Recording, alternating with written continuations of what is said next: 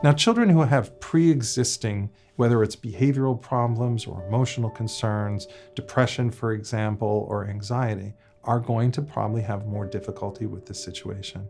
And I think in those situations, this is when you reach out to those who supported you, your pediatrician, um, your mental health provider, um, other people who can speak to you about strategies and approaches to provide assistance, even if they do that through virtual means, whether it's through a phone call or through telehealth visits. Children's Hospital Los Angeles has a number of options of how you can get health care, even in the midst of a pandemic such as this. So if you're really concerned about your child's safety, or you feel that they're having overwhelming distress, or they're not able to cope, or you don't know what to do, then please reach out to professionals to get advice.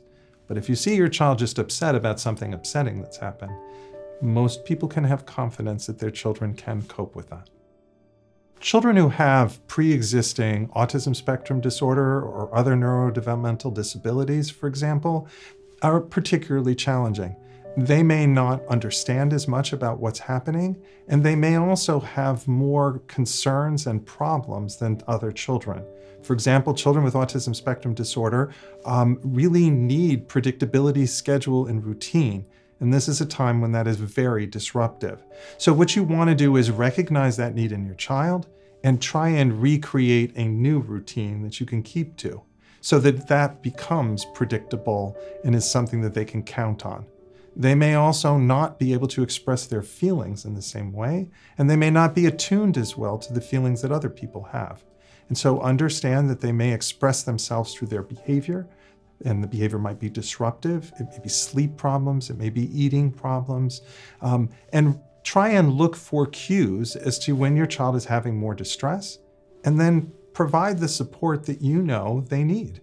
And they may find the support in different ways by allowing them to concentrate on something that is distracting to them and keeps their interest.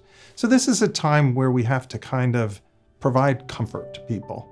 And sometimes that means that we compromise a little bit on some of the gains that we expect them to make in terms of their development or in terms of their learning as long as we're helping them stay secure and comfortable and confident, that will put them in the best position to be able to make gains in the future. Children's Hospital Los Angeles has been in this community for a long time um, to provide care for children, to provide support for families, and to try and better the health of children and families in this community. With the pandemic here, we're not slowing down on doing that. We're proactively trying to figure out how we can continue to provide that service and provide even more services. We are here for all children. And so if you need to reach out to us but can't come in person, call, email, find other ways of reaching out to us so that we can provide the assistance to the best of our ability.